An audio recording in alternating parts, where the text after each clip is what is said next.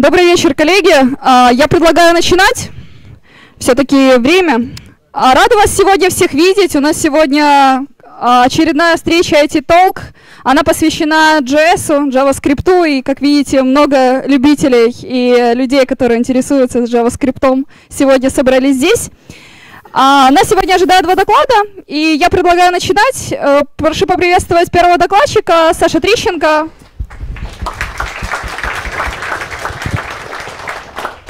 Саша, тебе слово. Угу. Э, всем привет. Э, мы очень... Простите. мы очень рады вас всех видеть. Э, я буду вам по ходу презентации задавать вопросы для того, чтобы корректировать ее план и так далее. Итак, э, я представлюсь. Меня зовут Александр. Я работаю здесь, в компании DataArt. Занимаюсь разработкой э, full stack э, JavaScript приложений и мне так повезло, что мне сейчас попадают небольшие проекты, 3-4 а, месяца, и учитывая специфику моих проектов, мне удалось поработать с Angular 2 и поработать на четырех проектах. Три из которых были коммерческими, и один из которых мой пэт-проект, который я до сих пор пишу. Он как раз и самый старый из них, и на этом я еще сакцентирую свое внимание. А, я решил поставить простые темы, вопросы нашего доклада, и Собственно, это наш план, это наша агенда. Первый вопрос я отвечу, почему мы выбрали Angular 2. Почему мы выбрали не что-нибудь из экосистемы React, почему мы не выбрали Vue, почему мы не выбрали Backbone в конце концов или XJS. Дальше. Я расскажу, как это работает, э, с чем мы столкнулись на практике и покажу несколько реальных кейсов. Дальше проблемы и решения проблем. Э, не все, конечно, так гладко, как может показаться. Это реальная жизнь. Поэтому я постараюсь рассказать реальную картину того, что мы имеем в Angular 2 приложениях. Ну, как я сказал, примеры, ваши вопросы. И у меня есть несколько плюшек, если мы успеем. Буду рад вам их показать. Uh, к сожалению, многие доклады по фронтенд разработке выглядят так. Какие-то чуваки приходят, и начинает тебе рассказывать, вот есть технология X, ты обязательно должен ее использовать, потому что она крутая. А какие есть бенефиты от использования этой технологии? Она крутая, ее модная, ее написала компания Y, поэтому ты обязательно должен ее использовать. Твое приложение написано на предыдущей технологии, все, она резко превратилась в тыкву после выхода технологии X. Я постараюсь быть максимально объективным и исключить, э, насколько это возможно, субъективное суждение о технологиях. Э, как-то ко мне пришел ПМ и сказал, у нас вот есть проект, он будет довольно-таки небольшой, у нас будет команда из трех человек, у нас будет 4 месяца. На чем мы будем его писать? Вот, проект мы будем писать с нуля. Я задумался и вынес для себя пункты, которые я ожидал от технологии. Первый пункт — это отсутствие необходимости писать код ради самой технологии. То есть моя задача была свести к тому, разработку, чтобы мы занимались разработкой какой-то бизнес-логики. Чтобы мы не писали огромное количество инфраструктурного кода просто ради того, чтобы это работало. Дальше. Для меня был важным поинтом это стабильность и живое сообщество. Э, думаю, здесь найдутся те люди, которые нашли какую-то технологию X, крутую, модную, современную, вчера вышло только, написали приложение, а оно не работает, начинаем искать, в чем проблема, тратим время, дни, э, а потом оказывается, что это проблема в ядре. И мы тратим кучу времени на то, чтобы пофиксить какую-то проблему, выбиваемся из эстимейтов и недоволен никто. Э, дальше у меня была задача простая комплектация команд под проекты, потому что фреймворков много, но на слуху и на практике люди используют совсем ограниченное число фреймворков. Дальше. Для меня было важно целостная, целостная экосистема. Потому как, грубо говоря, если есть технология X, у нее есть роутер, который поставляется поставщиком Y, там вьюшки рендерятся с помощью какого-то другого компонента, и все эти разработчики между собой никак не синхронизируются. Это вызывает множество проблем и необходимость это все дело сопортить. Это вызывает очень большой страх э, при попытке обновить все пакеты и файл package.json в итоге приходит к фиксированным версиям всех пакетов, и приложение фиксируется во времени. Дальше достаточный уровень абстракции и прирост в скорости разработки, собственно. Зачем нам нужны фреймворки? Фреймворки нам нужны для того, чтобы разрабатывать быстрее. То есть вообще давайте подойдем к вопросу с другой стороны. Зачем мы разрабатываем приложение? Мы зарабатываем приложение для того, чтобы наш заказчик получил какие-то деньги. Будь то продуктовая компания, будь то аутсорс. Наш заказчик должен получить какие-то деньги. И мы для него пишем код. И чем дешевле для него это все получится и быстрее, тем больше все заработают. Поэтому приложение, технология, которая заставляет нас писать много кода, она нам не интересна, к сожалению. Ну и последнее, это низкая связанность приложения, так как у нас команда из, зачастую из нескольких разработчиков на фронтенде. Нам было важно позволить им параллельно работать друг от друга, чтобы не было мучительно больно это все мерджить. Ну и, конечно, удобная тестируемость. Э, тесты это хорошо. Я не устаю об этом говорить, и о тестах мы поговорим больше. Итак, чего хотелось от технологии? Я подчеркну, что здесь чего ожидалось. А далее были такие необязательные поинты, на которые я смотрел во вторую очередь, но они не влияли на выбор технологии. Это высокая производительность, это совместимость со старыми браузерами, и это длинный жизненный цикл продукта. Э, собственно, с первым и вторым все хорошо, а, к сожалению, по длинному жизненному циклу продукта у меня уже есть нарекания.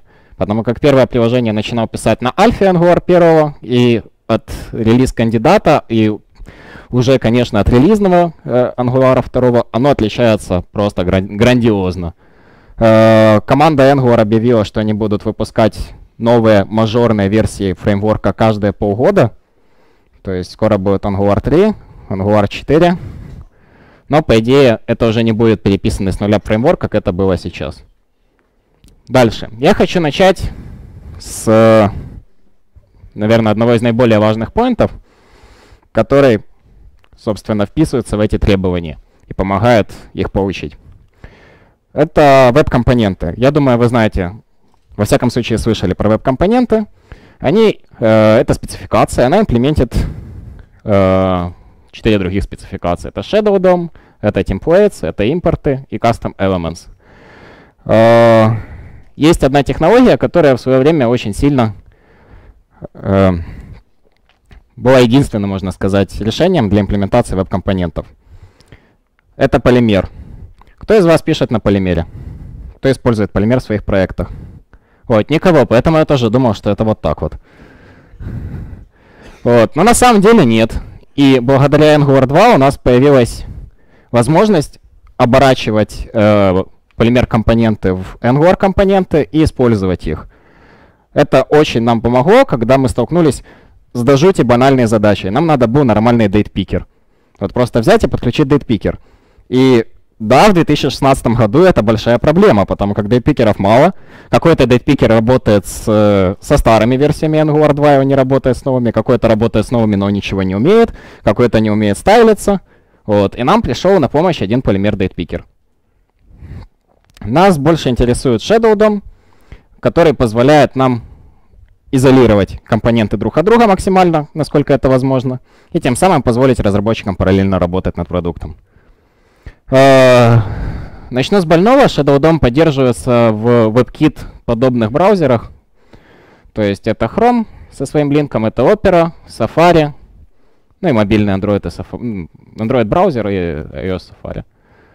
Uh, вернусь к этому, скажу, что, как вы видите, что даже в Edge поддержки Shadow DOM нет, Firefox поддержки Shadow DOM нет, и когда она будет, нам пока не ясно.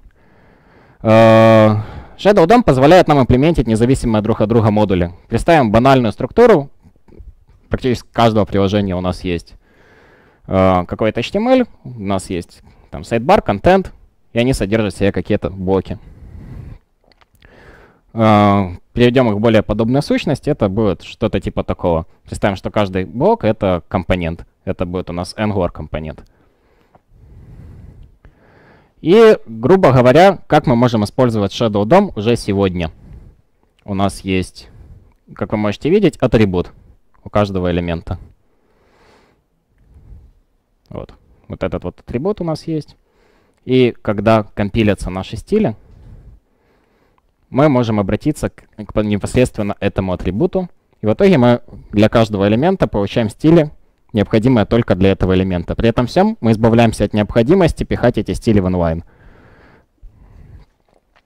Uh, раз я уже заговорил за компоненты, одно из новшеств Angular 2, которое почему-то многих пугает, это компоненты.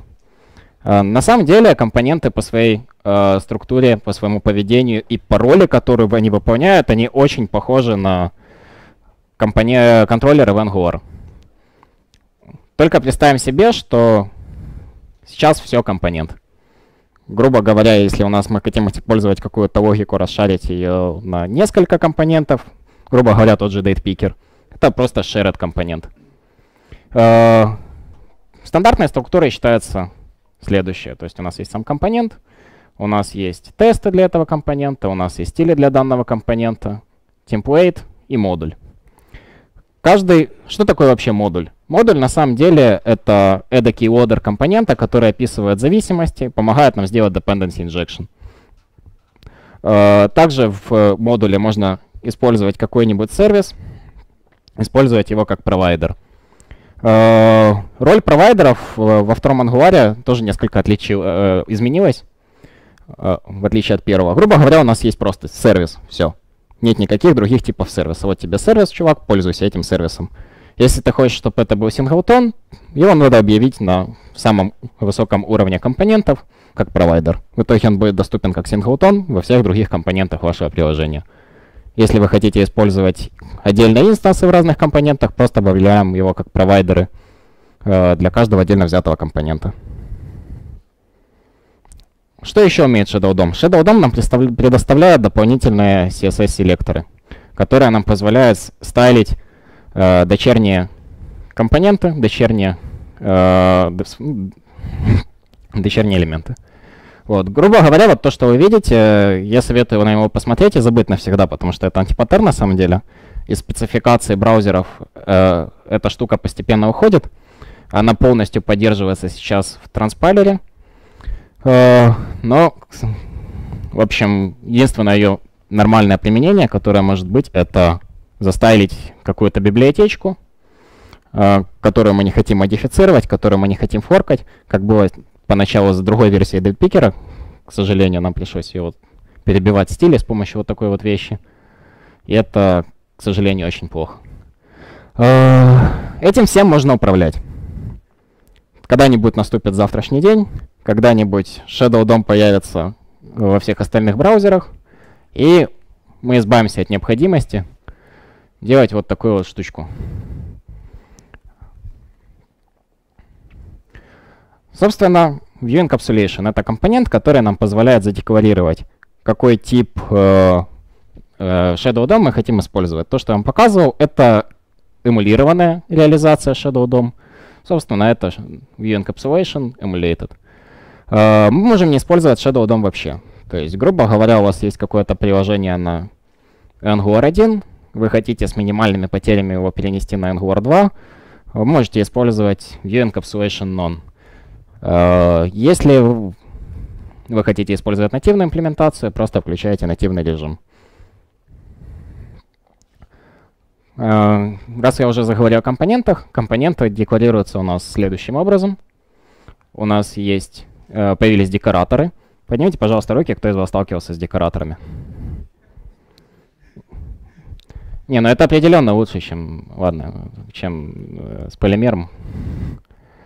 Э, это хорошо. В общем, э, с помощью декораторов мы можем декларировать э, инфраструктурные вещи, вроде э, тех же самых темплейтов, стилей. Мы можем декларировать input-output, мы можем декларировать различные события. Это очень удобно.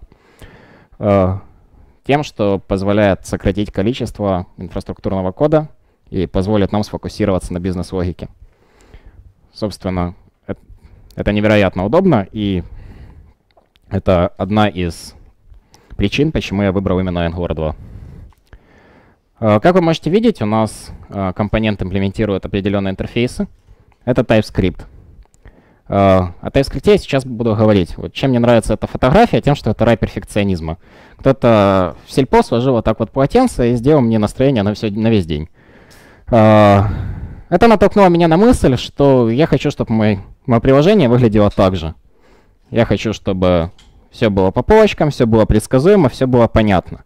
А в идеале, чтобы каждое приложение на технологии, которое я беру в разработку, куда я прихожу, если оно уже было начато до меня, или мы начинаем писать его снова, чтобы они все были предельно похожи.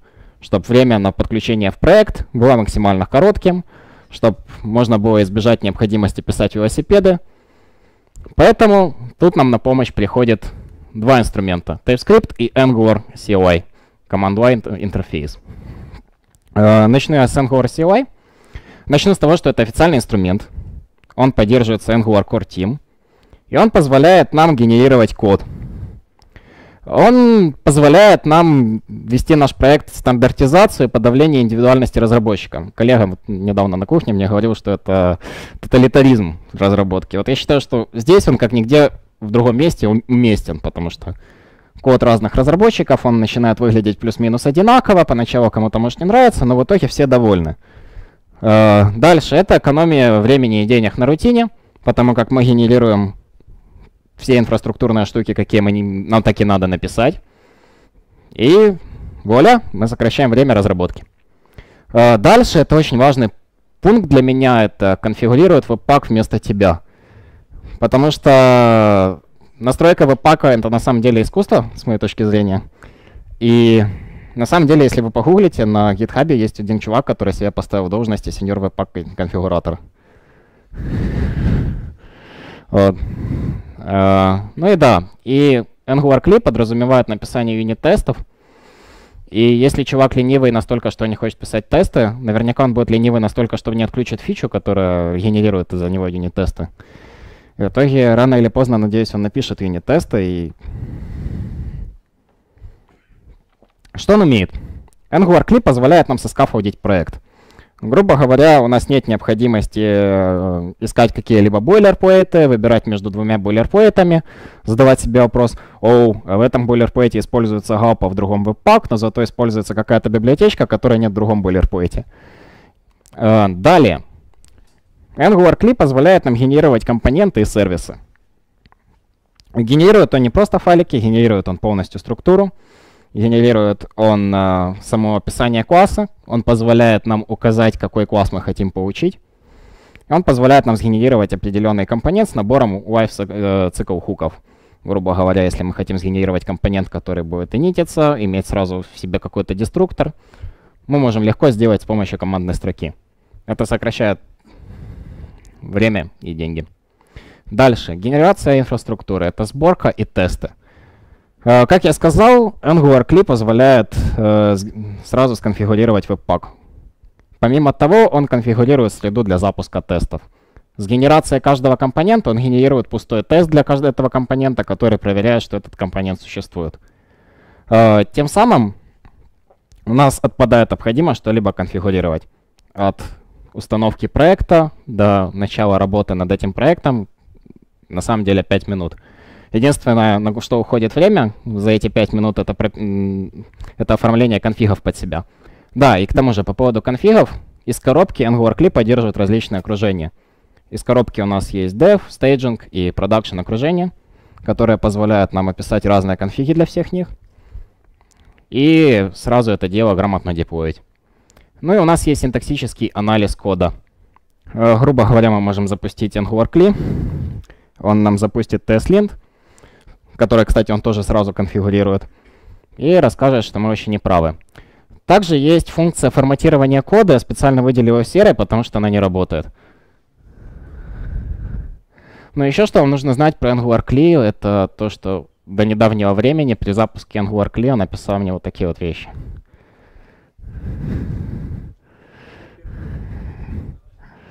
Ну, первым был Эмберкли. Uh, дальше. Подробность. В общем, Angular Cli собирает веб-пак. Какие фичи он имплементит, расскажет Александр после меня, поэтому специально убрал информацию с этого слайда. Uh, Кто-нибудь знает, кто вот этот вот дядя? Почти. Да. Uh, помимо того, что чувак родился в Дании, он также известен тем, что он занимался разработкой таких языков. Ну, не языков, в данном случае компилятора для Turbo Pascal, э, Delphi. Он участвовал в разработке языка C-Sharp. и он участвовал в разработке TypeScript.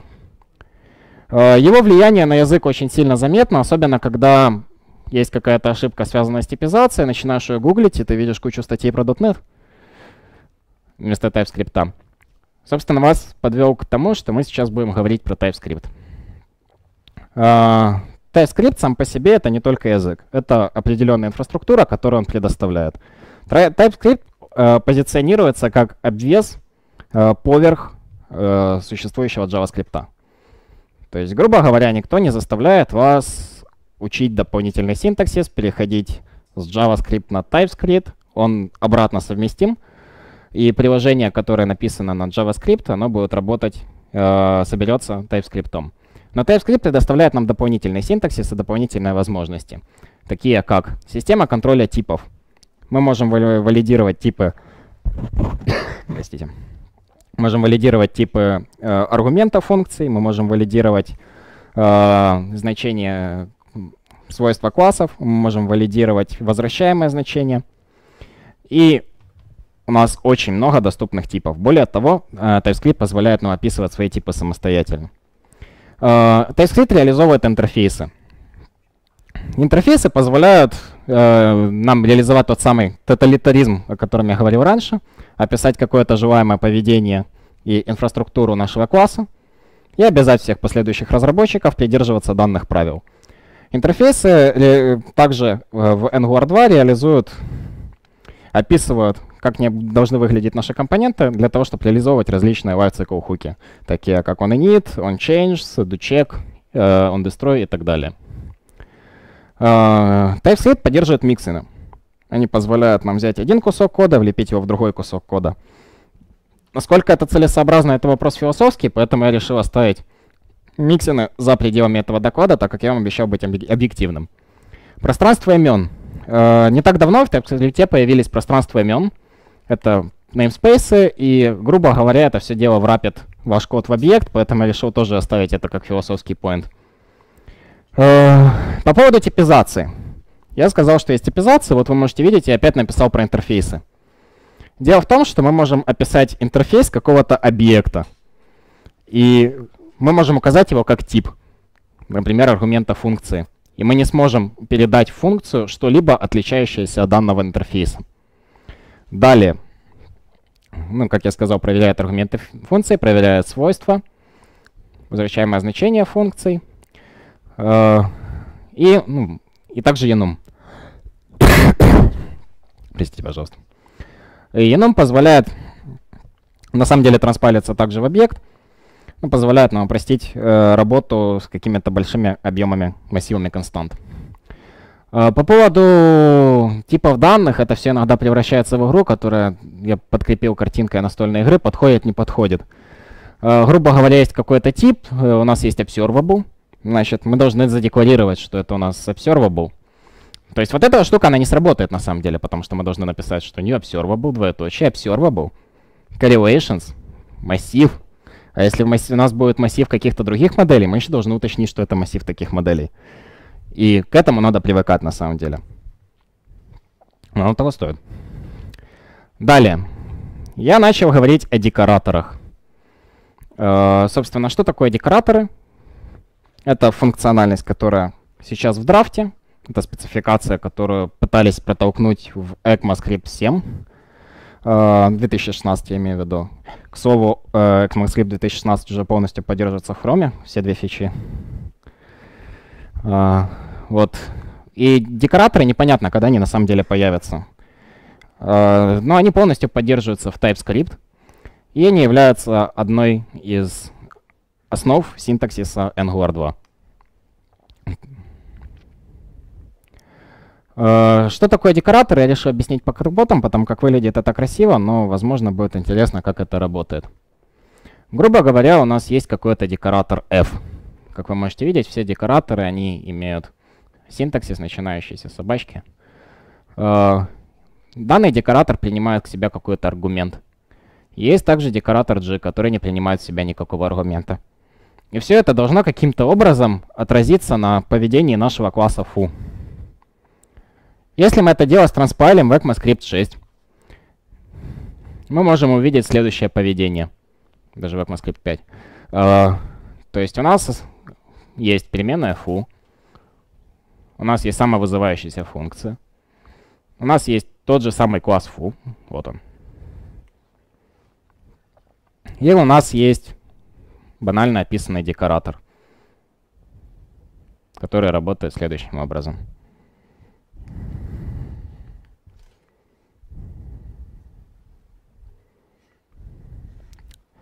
Э, по поводу декораторов есть э, замечательная статья, которая описывает, как они работают. Грубо говоря, здесь собрано предложение для драфта по спецификации с примерами наглядными. Я очень рекомендую посмотреть, как это устроено под капотом. По поводу тайпингов. Как вы можете видеть, у нас есть namespace d3. Зачем он вообще нужен и зачем нам нужны тайпинги? Я буду подробно останавливаться на дебаге нашего приложения, но тайпинги позволяют нам э, сфокусироваться на том, с чем мы работаем, с какими библиотеками, описать для них интерфейсы и в дальнейшем проверять типы для методов, значений интерфейсов, того, что они возвращают, можем ли мы их использовать в нашем коде и так далее. То есть, грубо говоря, э, тайпинг не представляет из себя ни что иное, как описание э, методов и свойств нашей, нашей библиотеки которая была написана, не зная вообще про существование TypeScript, но которую мы хотим использовать в нашем приложении.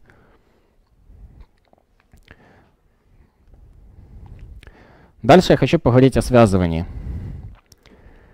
Uh, все, кто работали с Angular 1, наверняка знают, что такое two-way data binding. И у нас осталось связывание. Оно похоже на таковое в Angular 1, но изменился несколько синтаксис.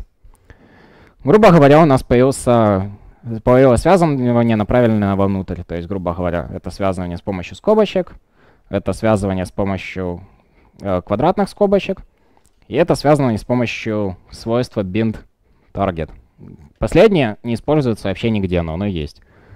На самом деле оно абсолютно взаимосовместимо, взаимозаменимо с предпоследним свойством. Верхнее используется для вывода значений в темплейтах.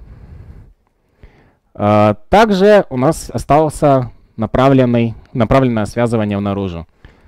Связывание наружу нам на самом деле надо для того, чтобы подписаться на изменение нашего компонента. Грубо говоря, представим, у нас есть какой-то... Я уже начал сегодня говорить про дейтпикер, я буду на том же примере дейтпикера рассказывать. Допустим, у нас есть компонент, и мы хотим подписаться на его изменение. Когда пользователь изменит дату, мы хотим получить это событие, мы хотим получить новую дату — и э, с помощью подписывания на событие, с помощью данного синтаксиса мы можем подписаться на событие, будь то нативный э, mouse move и так далее, то ли это какое-то собы событие, которое мы описали сами. В компоненте, который эмитит это событие, находится обычный э, event emitter, э, ангуаровский event emitter э, с небольшой горстью синтаксического сахара. Вот. Далее у нас есть тоже аналогичный синтаксис onTarget. Он взаимоменяемый с предыдущим, и на практике э, не видел, чтобы он где-то использовался. А, дальше. Собственно, почему эта штука называется... Почему он здесь бананы в коробке э, добавил? А, данный синтаксис называется banana in the box официально. Uh, называется он так в связи с тем, что квадратные скобочки похожи на коробку, внутренние круглые скобочки похожи на банан. Uh, это легко запомнить, потому как данный тип связывания — это двунаправленное связывание, two-way data, data, data binding, о котором мы говорим. Вот. И также у нас есть альтернативно bind on, target и наше выражение. То есть, по сути, второй вариант, он просто склеивает первое, второе, и получаем данный результат. Поведение э, слушателей и связывания отличается в Angular 2 от Angular 1 в общем, мы отказались от э, Scope. У нас больше нет э, дайджеста как такого. Э, теперь это все реализует зона. О них я буду говорить тоже чуть позже. Но тем не менее у нас осталась ситуация, когда что-то может измениться неожиданно извне, и мы это не можем уследить. Например, у нас есть какой-то объект, у этого объекта есть ключ, э, значение этого ключа еще какой-то объект, у этого объекта есть еще какой-то ключ, значение массива, в массиве добавился один элемент. Чтобы узнать об этом всем, порой приходит... Да, это все случилось там в компоненте, на который мы подписаны. Uh, для того, чтобы это узнать, существует костыль, встроенный в Angular 2, который называется Key Value Differs. К сожалению, его приходится иногда использовать. Uh, работает он следующим образом. Невероятно просто. У нас есть компонент differs. Это стандартный ангуровский компонент. У нас мы создаем просто пустой differ. И у нас есть цикл ngDoCheck, который запускается каждый раз, когда у нас в системе что-то происходит. В реальной жизни э, в приложениях он запускается каждые там 50 миллисекунд. Есть подозрение, что на самом деле он еще по истечению какого-то тайм-аунта, если ничего не происходит, он дополнительно лупит проверки, чтобы убедиться, что мы живы. Э, когда происходят какие-то изменения, мы в differ запихиваем новое состояние модели. Он проходит по каждому ключу, сравнивает все значения. И дальше мы можем выполнить уже какие-то изменения, если оно что-то изменилось. Это полезно при работе с какими-то библиотечками, которые работают мимо Angular, э, от которых мы не можем отказаться и с которыми нам надо жить. Э, дальше один из, одна из важных возможностей Angular 2, не конкретно его, но его в частности, это ReactiveX, э, в JavaScript кругах известен более как RxJS. Это новый способ даже не сколько взаимодействия э, с асинхронными действиями, сколько композиции нашего приложения. Э, скажите, вот сколько из вас людей э, пишут на реакте? Хорошо. Э, кто из вас знает, чем отличаются dump-компоненты от смарт-компонентов? Ну, все. Замечательно. Uh, ReactiveX как раз uh, нас подталкивает к использованию э, нового стиля композиции приложений, подобного тому, который э, желательно использовать в экосистеме React. То есть, грубо говоря, у нас есть какой-то компонент, который работает с асинхронными действиями, с информацией. У нас есть какой-то глупый компонент, который просто эту информацию показывает. Зачем это нужно? Я покажу. Там есть схема. Uh, собственно, uh, RxJS, он вшит в стандартный сервис для работы с HTTP. Angular 2. И, грубо говоря, когда мы пытаемся выполнить какой-то get, ну, какой-то вообще запрос, э, какое-либо асинхронное действие, мы получаем observable. С помощью flat map и switch map мы можем э, указать инструкцию, как мы хотим работать с ответом нашего observable, когда он придет. И у observable есть замечательная штука, кэш, которая позволяет избежать э, последующих вызовов, когда у нас есть э, несколько запросов. Также, к слову, Observable отлично работают с дебаунсингом. Есть э, встроенный дебаунсер в Observable. Э, это на самом деле очень удобно.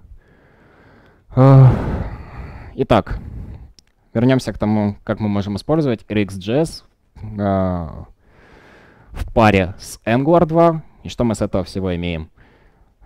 Он нам позволяет убрать логику из компонентов. Грубо говоря, если раньше у нас был промис, допустим, и мы хотели из этого промиса выгребсти какую-то информацию, разложить ее по полочкам, мол, вот в эту переменную пойдет то, вот в эту переменную пойдет то, а вот эту вот коллекцию мы положим в свою переменную. Теперь у нас есть просто observable. Мы можем подписаться на observable в темплейте. Грубо говоря, мы отправили запрос HTTP, э, положили этот запрос в переменную. В переменной с помощью pipe async мы можем вывести что угодно. Э, даже если мы еще не получили информацию. То есть очень удобно. Э, минусы. Он вносит коррективы в композицию приложения, и это основная причина, почему я не рекомендую переносить э, существующее приложение Angular 1 на Angular 2. Uh, есть инструмент для миграции, который, по моему скромному мнению, тоже не работает на самом деле. Мы пробовали. Uh, и далее это вносит коррективы в композицию приложения, так как вы не сможете нормально завязать Observable, вы не сможете нормально завязать Shadow DOM, веб-компоненты, и будете вынуждены использовать э, довольно странную архитектуру по меркам Angular 2. Далее, минусом я считаю то, что э, Observable реализует метод toPromise. Я пришел на один проект Angular 2, э, где ребята просто подумали, нафиг нам эти Observable, давайте мы просто все в промисы перегоним и будем по старинке работать, как мы работали в Angular 1. В итоге получилось не очень хорошо, и с этим тоже приходится жить.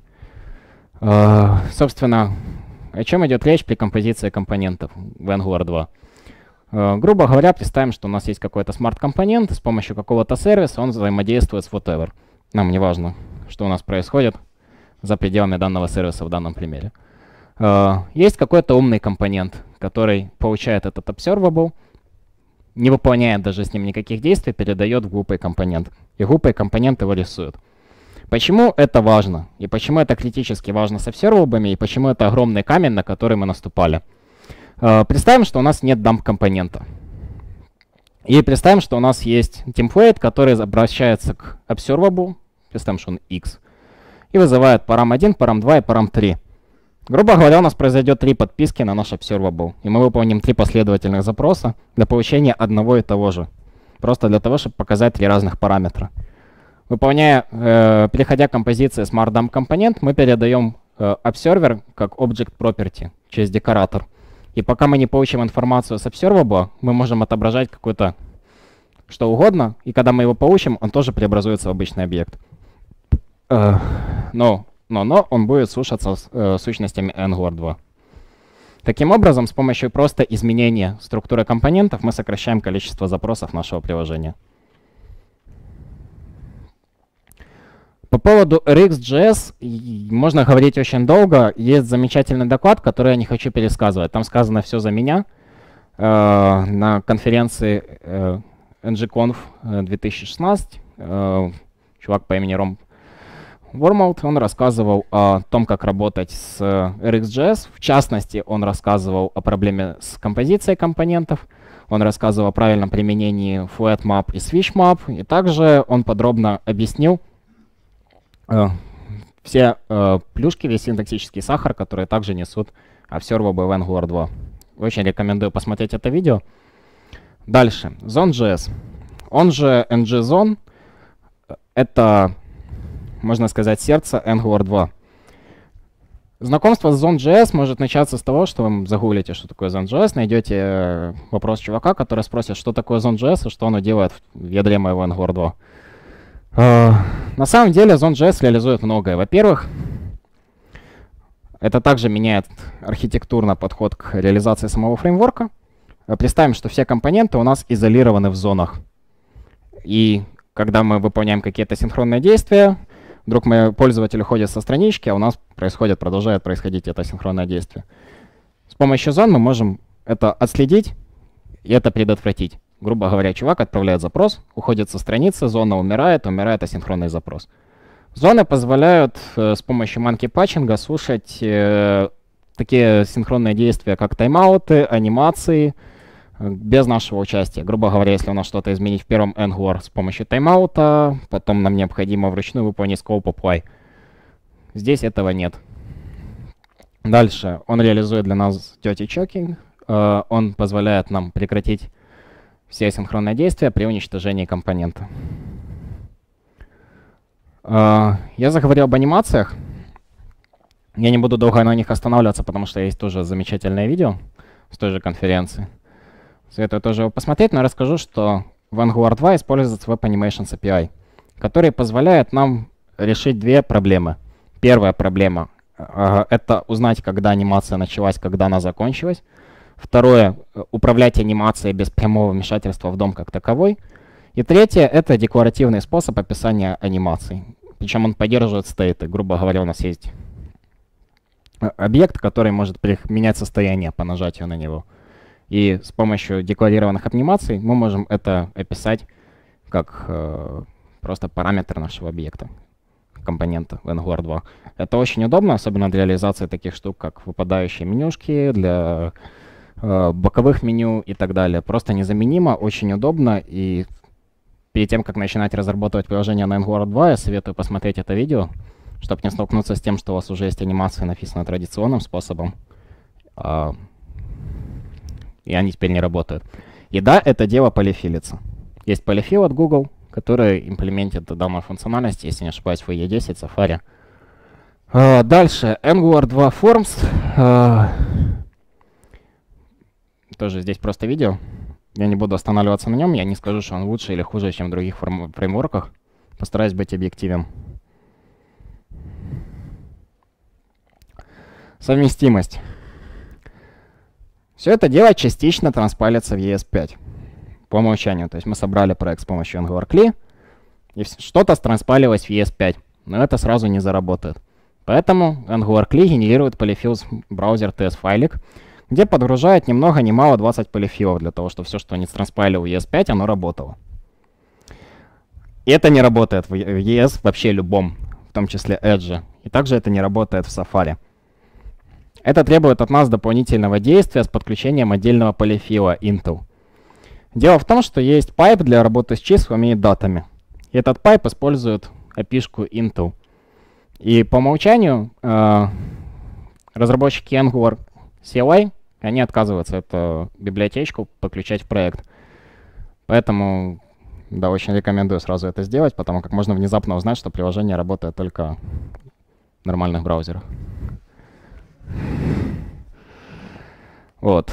Теперь я хочу сказать несколько слов об отладке Angular 2 приложений. Отладка прекрасна. Во-первых, у нас есть платформа для тестирования. Uh, есть компонент Angular Core Testing, который содержит в себе все для нас необходимое. Это Jasmine, это Karma для того, чтобы запускать эти тесты. Также он из коробки поддерживает end-to-end тесты. Для этого он ставит протрактор. И опять же, подчеркну, грубо говоря, мы развернули проект, у нас есть вся инфраструктура для тестов. Бери, пиши. Дальше есть инструмент Augury. Я думаю, многие из вас знают про такой инструмент, как Angular Batarang. Вот это аналогичная вещь для Angular 2. Да, он позволяет, э, ну, во-первых, да, это официальный инструмент от команды Angular. Он не требует от нас никаких телодвижений, то есть нам не надо ставить никакие компоненты для того, чтобы на лету модифицировать свойства объектов. И он отлично работает с собранными приложениями. Это работает следующим образом. Есть такая анимашка.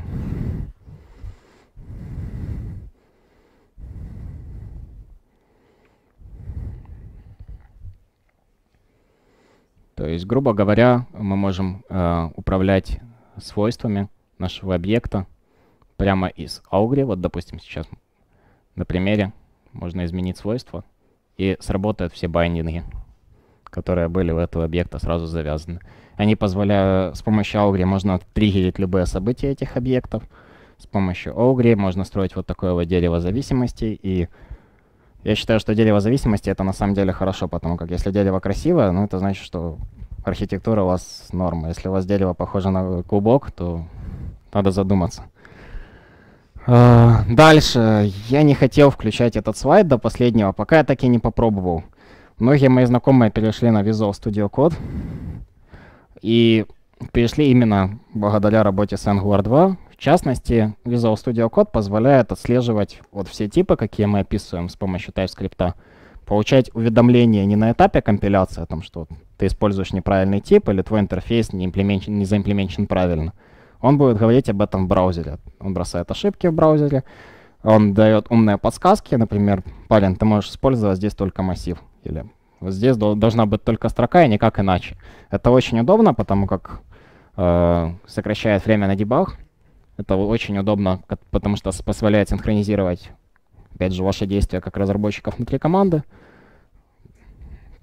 Я в восторге. На самом деле модули для э, реализации подсказок для TypeScript сейчас уже есть. Глючный, но есть для Sublime текста. Э, насколько я знаю, сейчас также глючно поддерживает продукты JetBrains, WebStorm и PHPStorm. Вот. Ну и также э, в Visual Studio есть встроенный транспайлер, я не знаю зачем, но он есть. И ну, его хвалят. Дальше. Я постарался субъективные моменты вынести всего в три поинта, которые э, я прокомментирую. Есть компоненты, у нас есть один тип компонентов. То есть все. У нас есть директивы, есть только один тип директив. И у нас есть сервисы, только один тип сервисов. С моей точки зрения, это позволяет быстрее выучить технологию и делает фреймворк гораздо проще. Потому как ну, это просто удобно. Я подчеркнул субъективно. Uh, я бы сделал это последним слайдом, но нет. У нас есть пару минут, поэтому мы пойдем дальше. Uh, есть такая штука, как Angular Universal.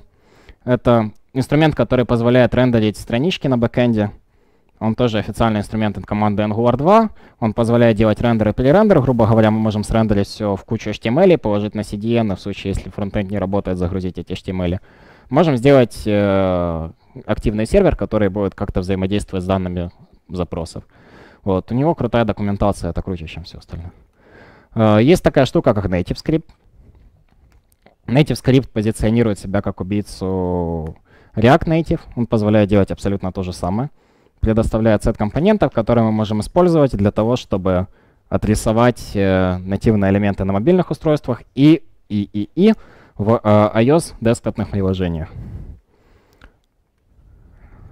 Так, далее. Есть такой инструмент, который называется Angular React Native Renderer. Вот. Пожалуй, на бабке я закончу. Спасибо.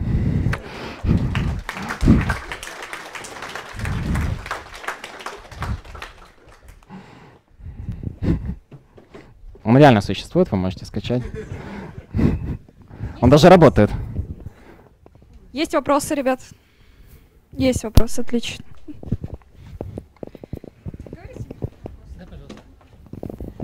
Э, добрый день. Э, вопросов два. Э, вопрос номер один.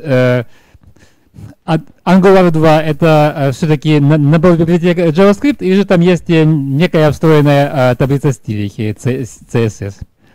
И второй вопрос, что такое это транспортер? Окей, хорошо. Спасибо.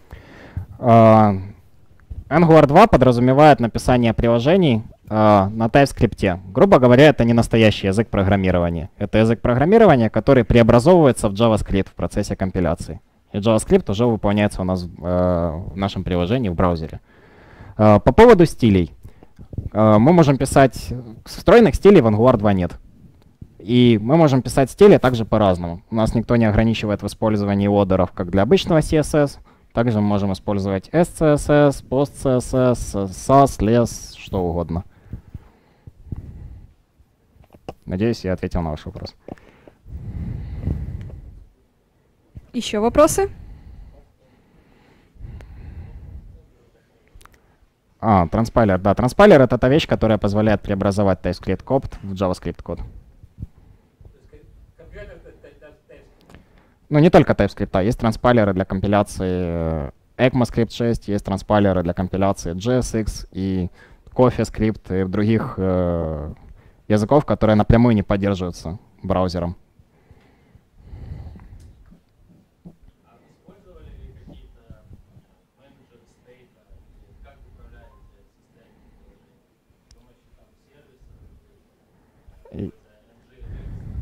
Э, я понял.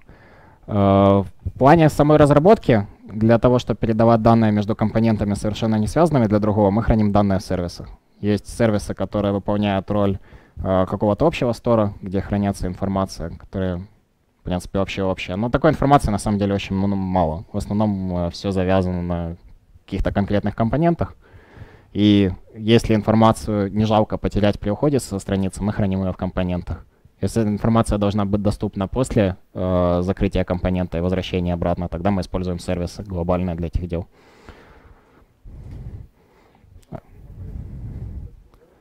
Э, сам тестов не делал. Э, могу сказать, что тестов вообще в нете много, и работает это все дело быстрее. Быстрее, чем первые, да, но медленнее, чем, возьмем, грубо говоря, голый Angular 2 и голый React, то голый React будет быстрее ну, там, да, да, ну, для, для чистоты эксперимента, ну, не просто голый React, например, а React и Redux, чтобы, грубо говоря, архитектура и архитектура.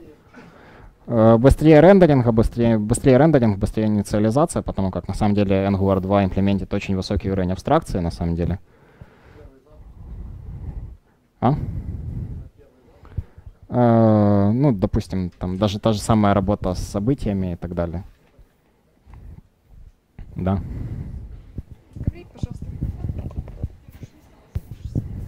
А скажи, пожалуйста, про шаблонизаторы в Angular uh-huh. и вообще, насколько они умные, насколько принято выносить логику в сам шаблонизатор? Окей, okay, логика во вьюшках зло. Шаблонизатор в Angular 2 встроенный. И он невероятно крутой, как минимум тем, что он поддерживает Elvis оператор.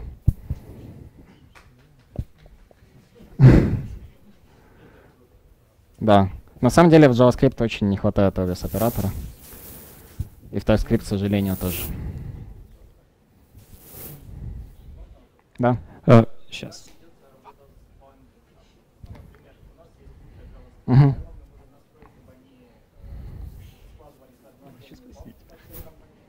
Угу.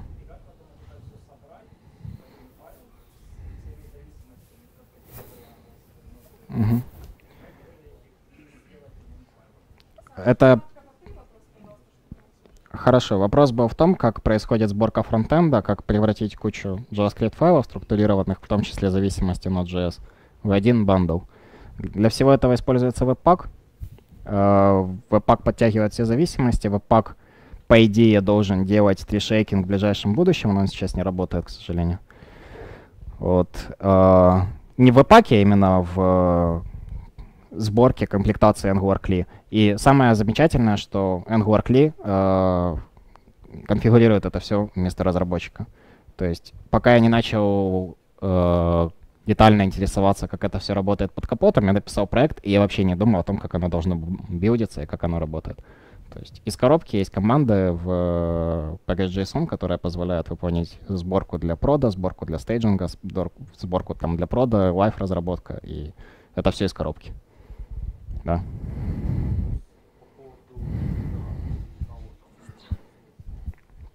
Uh, насчет джита точно нет. Вот. А насчет кого-то слышал звон, но не знаю, где он.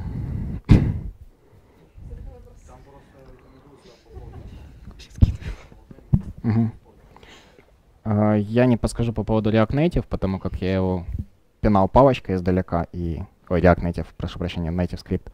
И сказать по поводу того, как это оптимизируется на мобильных устройствах, я не могу. Но учитывая качество э, того, как заимплеменчены некоторые другие компоненты, я предположу, что, наверное, оптимизация там не сильно хорошо под мобильное приложение. Плюс Native Script — это не, про, не официальный продукт Angular 2. Команда, я имею в виду. Угу. Саша, а вот сейчас существует очень много проектов, у которых очень тяжелая логика, и они огромные, они написаны на первом ангуляре. Uh-huh. Как ты считаешь, долго ли он еще будет поддерживаться в проектах, в которых все очень сложно и тяжело перепилить на второй ангуляр?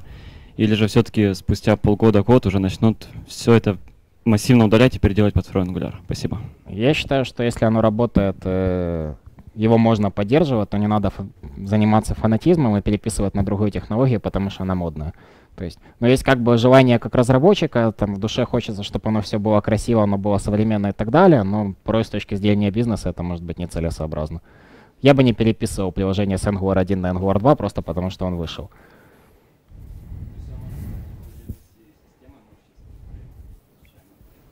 Ну, когда настанет время переписывать, тогда, я думаю, этот вопрос уже не будет стоять остро. Давайте по очереди. Слушай, а кроме проблем с дейтпикером, ты с компонент, как бы ты компоненты какие-то использовал? Ну, то есть сторонние, какие были проблемы, чего ты не нашел? Возможно, то есть есть mm-hmm. какие-то. А, не хватает библиотек для UI компонентов, как для таких, как таковых. Я как имею материал, да? А, если ты имеешь в виду такую библиотечку, как материал UI для React, ну, то лучше под... пусть ее не будет, чем она будет такая, как на React. Вот. А ну, вообще, да, не хватает библиотечек именно, которые реализуют логику. То есть, грубо говоря, там спойлеры, карусельки, слайдеры и так далее. Это все приходится писать самостоятельно. И хорошо, когда это все описывается просто, когда тебе не надо никак взаимодействовать с домом. А такие вещи, как дейтпикер, которые там надо как-то отобразить, еще отпозиционировать его надо потом. Зачастую приходится делать его position fixed и так далее. Нам пришлось в итоге один дейтпикер так и вообще форкнуть, к сожалению. Но есть какой-то стандартный набор там для модальных окон, для там каких-то там Есть библиотечка Angular uh, Material. Uh, я знаю, что она стабильна, но она довольно скудна тоже в плане функциональности.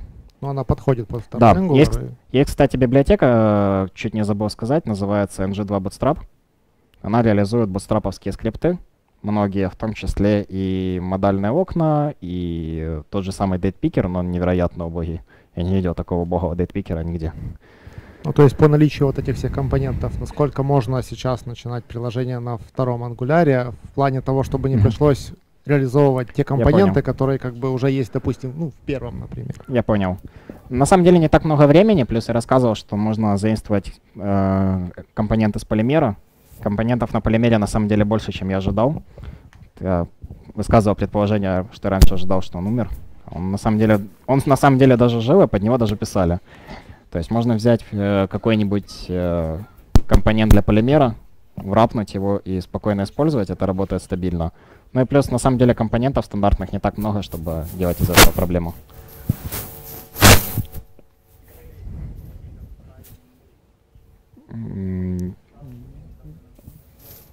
Не зал. Для автокомплектов, кстати, есть еще какая-то библиотечка, но не скажу. Очень много хороших библиотек, но они разноразнены. То есть, грубо говоря, библиотека чисто для автокомплита, библиотека чисто для анимации на кнопочках, библиотека еще для чего-то. Я не считаю, что это плохо, но это э, требует дополнительных эфортов на то, чтобы все их найти и каждую из них заимплементить. И у каждой еще какой-то свой собственный характер. И они могут не дружить вместе. Угу. А, да, спасибо за доклад. А, у меня такой вот вопросик по поводу а, скорости рендеринга и да, сравнения там React с, с какой скоростью он работает. А, и то, что один дяденька как-то делал такой тест, сравнивал, сколько а, перерендеринга, перерендеринга происходит в может, может выдержать React и Angular 2, uh-huh. а то, что React делает 36 рендеров в секунду, Angular 2 э, что-то в районе 30, но есть такая, есть такая штука, как э, Worker Renderer э, в Angular 2, который позволяет его разогнать до 80 рендеров в секунду.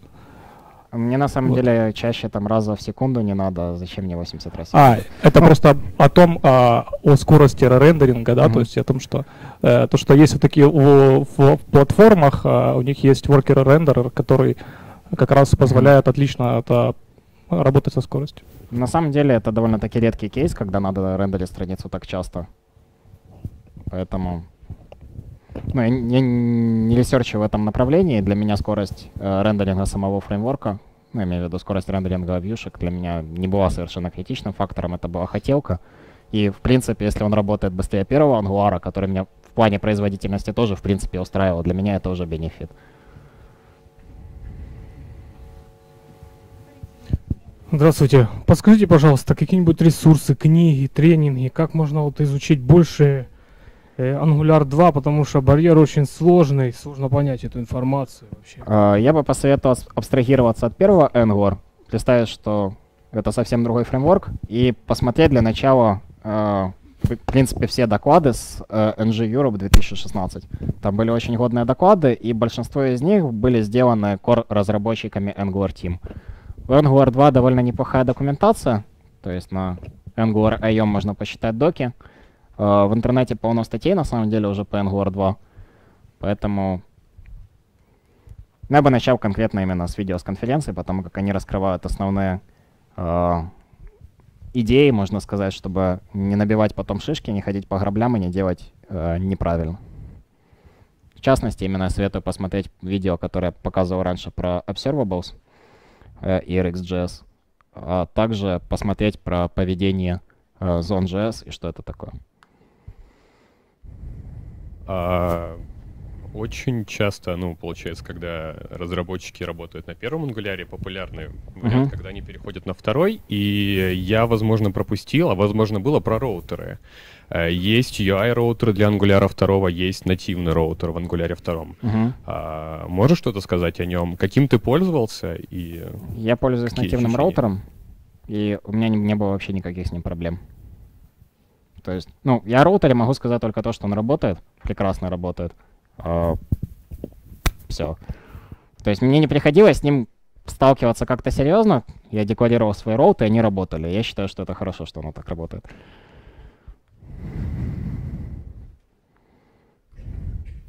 А, такой есть вопрос, насколько все было плохо с ИЕ, что помимо полифила упомянутого нужно было сделать, чтобы оно там завелось?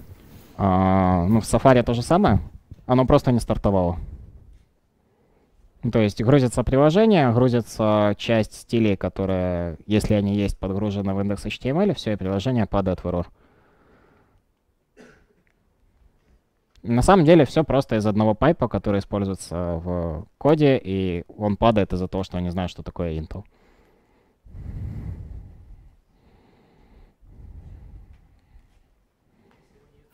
Скажите, пожалуйста, Еще а, немного про, мини...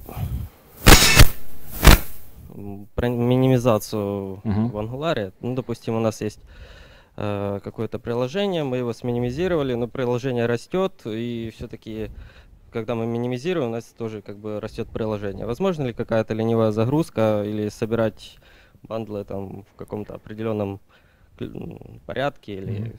Как это вообще сделать и реализовать? А, во-первых, есть фича в веб-паке, про нее расскажет Александр после меня. Mm-hmm. Во-вторых, а, а, есть был очень крутой инструмент в Angular 2, которого сейчас нет. А, раньше Angular 2 билдился с помощью System.js до того, как пришел веб-пак. И на самом деле появление веб-пака в экосистеме Angular 2 в кли сборки для меня было как, э, я не знаю, как внезапный ребенок.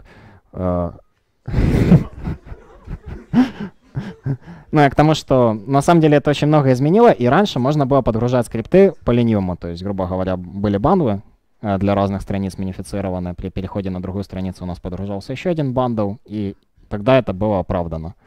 Э, в плане размеров бандлов, да, все плохо. Тоже Александр будет рассказывать после меня про размеры бандла Angular 2 чистого. Да, Чистый ангуар, если его собрать и минифицировать, весит 700 килобайт. Если не минифицировать, 3,5 метра. Это просто приложение Hello World без каких-либо дополнительных зависимостей с моей стороны. То есть я просто делаю один компонент, в нем вывожу просто вьюшка, которая рисует один абзац Hello World. Который я сейчас написал. Но сейчас оно весит у нас 1,9 метра минифицировано. Э, про Angular Universal. Э, вы с ним сталкивались и как он, в принципе, работает? Можете подсказать? подсказать? А, я только читал, поэтому я вынес его в конец после спасибо. Еще на один вопрос.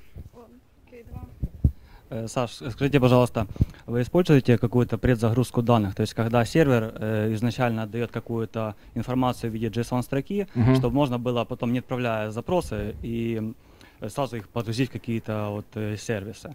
А, мы не используем, на research-е этот вопрос. Есть такая штука, как Angular Mobile, которая позволяет работать с манифестами. А, как бы вы посоветовали эти данные забирать? Не обращаться к window, не записывать же в глобальные какие-то переменные? Есть какие-то рецепты? Рецептов нет. Э, спасибо.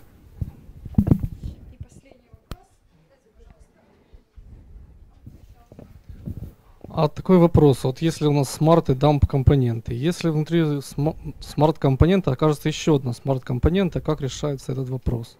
Она будет работать. Вопрос э, smart и dumb компонентов, он здесь актуален именно с точки зрения того, чтобы скомпонировать RxJS.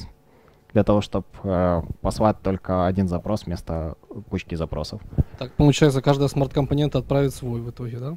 Э, если внутри смарт-компонента мы обратимся к observable из template-а к разным его параметрам несколько раз, мы отправим несколько запросов.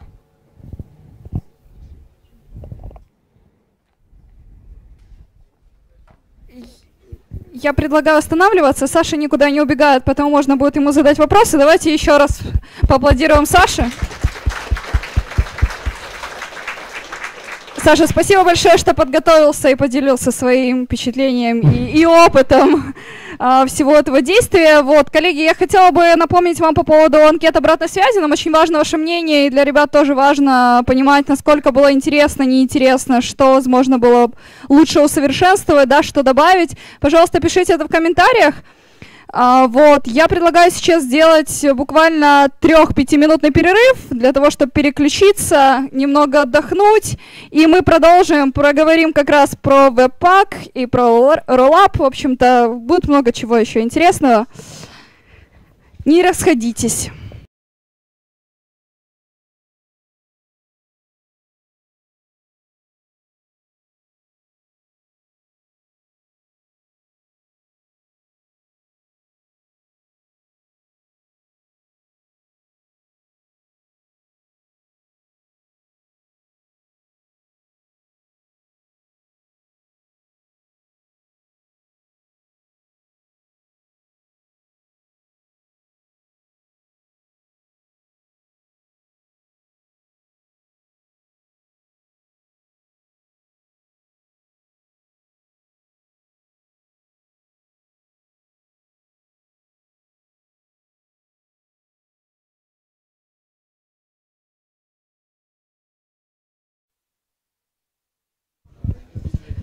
Да, предлагаю начинать. Наши ряды немного уменьшились, но я думаю, кому интересно, тот остался. Хочу представить э, прекрасного человека, отличного специалиста компании DataArt, синьора JS-разработчика Сашу Ткаленко.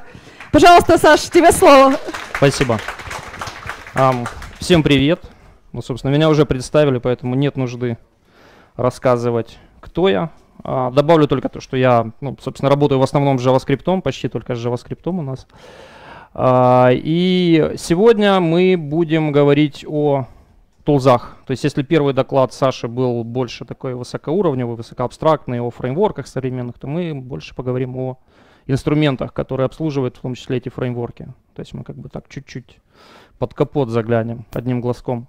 Будем говорить о веб-паке, о веб-паке 2 непосредственно, о роллапе а, и поговорим о том, как, что такое а, тришейкинг и как нам непосредственно по, потрясти дерево. А, в общем, начнем мы с самого начала, то есть кратко пробежимся по истории а, всех веб-приложений. То есть когда-то давным-давно, а, в самом начале, когда только веб а, оформлялся, а, у нас, в принципе, наши все веб-приложения были достаточно простыми. Это была мультипейдж архитектура, а, то есть у нас были разные страницы, которые как-то там возвращались нам с сервера. Они были обвязаны минимумом а, логики на JavaScript, то есть это там показать какую-то выпадалочку, подкрасить кнопочку, пустить снежинки по веб-странице. Ну, в общем, стандартный набор JavaScript в те времена. Ну и, соответственно, это не требовало никаких э, модулей, то есть их либо не было, либо это была абсолютно наивная абстракция. Кстати, слово написано правильно, мы проверяли вчера. А, это была абсолютно простая абстракция, абсолютно простая имплементация, точнее, это самовызывающаяся функция, которая у себя там где-то в скопе хранила а, какие-то а, данные модуля. Время шло, а, приложения росли, изменялись, а, появилась single-page application архитектура, то есть когда у нас а, браузер, э, сервер возвращает только одну страницу, индекс, и дальше вступает в дело клиентский JavaScript. То есть он все рисует, все рендерит, э, ответственен за роутинг и так далее. Э, соответственно, рос объем скриптов, которые были э, в браузере, которые передавались с сервера. И стала необходимость э, каким-то образом э, уменьшать этот размер, то есть оптимизировать как-то ну и в лоб это все было решено просто достаточно. Минификация и зиппинг. А, соответственно, а, с ростом а, сложности приложений появилась необходимость в более сложных модулях. Появились AMD, Asynchronous Module Definition, то есть это для браузера асинхронные модули. CommonJS с появлением ноды стал известен, и появилась его имплементация для браузера. Ну и появились, соответственно, первые бандлеры, которые начали обрабатывать вот эти вот э, модули.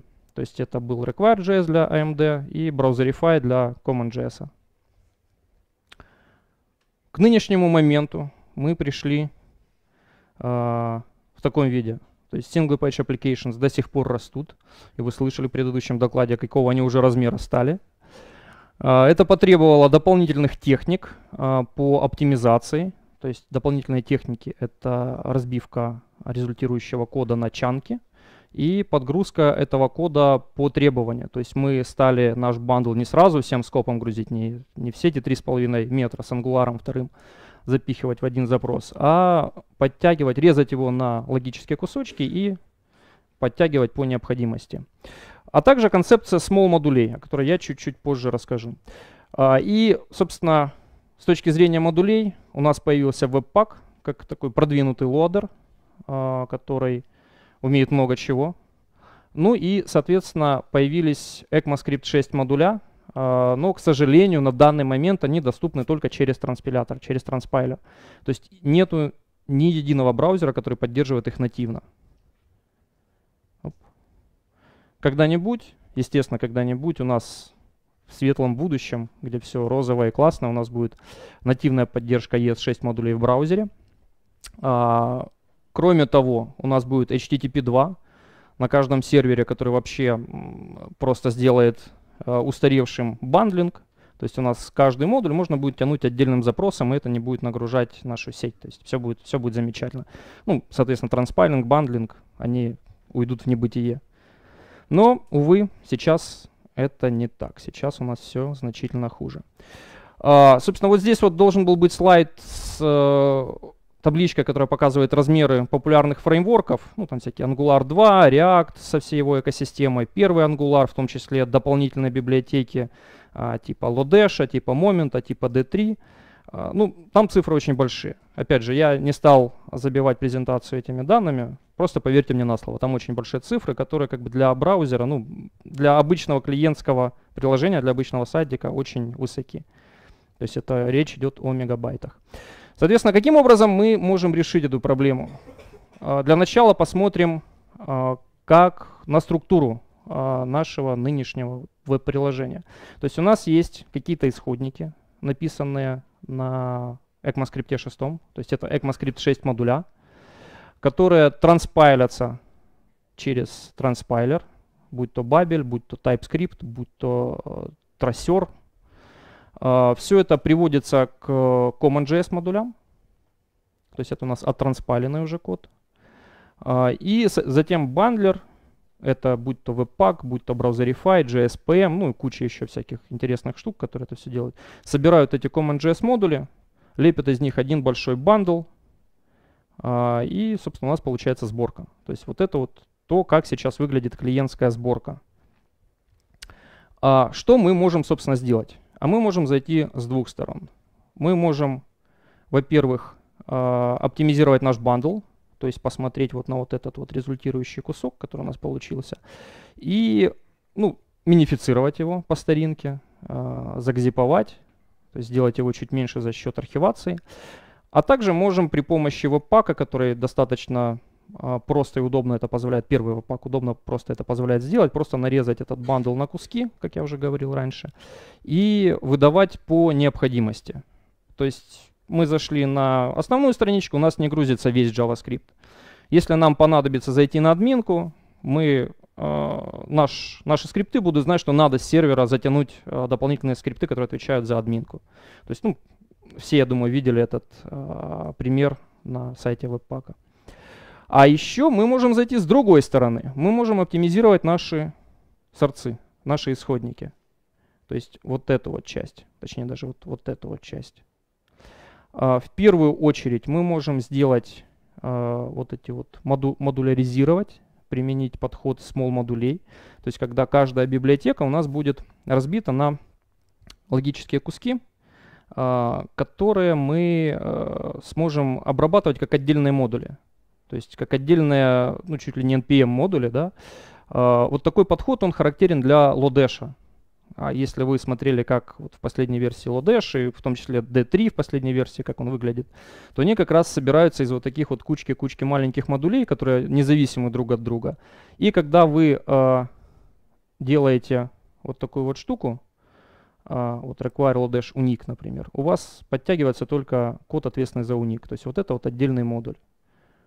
То есть вместо вот этого, когда мы затягивали целую большую Lodash библиотеку и пользовались одним маленьким методом unik, мы просто подтягиваем наш необходимый метод. Но, увы, эта штука а, работает только для тех библиотек, которые специально так написаны авторами этих библиотек. То есть, и она требует, как бы, это нетривиальное не решение, которое требует очень много работы. То есть разбить всю монолитную библиотеку на кучу маленьких модулей. То есть поэтому подход small модулей, он имеет место быть, но, к сожалению, его никак нельзя автоматизировать. И вот здесь вот а, мы возвращаемся к еще одному подходу, трешейкинг, то есть непосредственно оптимизация вот этих вот наших исходников, которые написаны, подчеркиваю, в ECMAScript 6 э, нотации модулей, то есть импорт from бла-бла-бла. А, собственно, что такое трешейкинг? Трешейкинг — это штука, в принципе, достаточно известная в э, мире программирования. Она на самом деле не была изобретена в JavaScript мире. Э, как минимум э, до, до ECMAScript 6 период был такой язык, и сейчас есть Dart, может быть, знаете. Это гугловская разработка, которая позиционировалась как замена JavaScript. И вот там вот за счет как раз тоже таки статической природы модулей, э, которые были использованы в Dart, вот можно было делать три шейкинг, то есть за счет э, особого, особых модулей, которые там были, можно было просто удалять неиспользуемые зависимости. Сейчас же наш ECMAScript 6 позволяет сделать то же самое. Ну, на схеме достаточно примитивно это все описано. То есть у нас есть какой-то наш main файл, main модуль, который импортирует библиотеку с кучей ее зависимостей. А, собственно, в нашем main модуле мы дергаем какой-то другой модуль, который э, дергает вот эту вот одну маленькую зависимость. Вот эти вот и вот эти две штуки нам, в принципе, не нужны. И вот этот модуль мы тоже написали, но как бы почему-то его нигде не использовали. То есть из основного модуля мы к нему не достучимся. Мы можем эти исходники прогнать через тришейкинг компилятор, то есть который сделает статический анализ структуры и пометит или удалит а, неиспользуемые куски. И у нас в результате получится вот что-то такое. То есть только то, что нам непосредственно надо, только то, что мы теоретически можем использовать. То есть то, до чего мы можем достучаться из корня вот этого дерева. А, ну, собственно, почему ECMAScript 6? Вы можете, кстати, задать вопрос логично. У нас вроде бы как есть уже какие-то модули AMD, CommonJS. Почему ECMAScript 6 модули лучше? А, потому что они обладают статической структурой. То есть они, а, структура нашего приложения известна на момент а, начала компиляции. То есть если у нас наши вот эти вот require uh, CommonJS модули, которые сейчас активно используются, uh, их структура приложения неизвестна uh, до того, как мы его не скомпилируем, потому что у нас она может зависеть от каких-то развилок в коде то э, сама форма ECMAScript 6 модулей, она просто запрещает делать вот эти вот развилки, поэтому у нас на, самый, на самом, в самом-самом начале э, компиляции мы просто знаем уже, можем построить дерево наших зависимостей.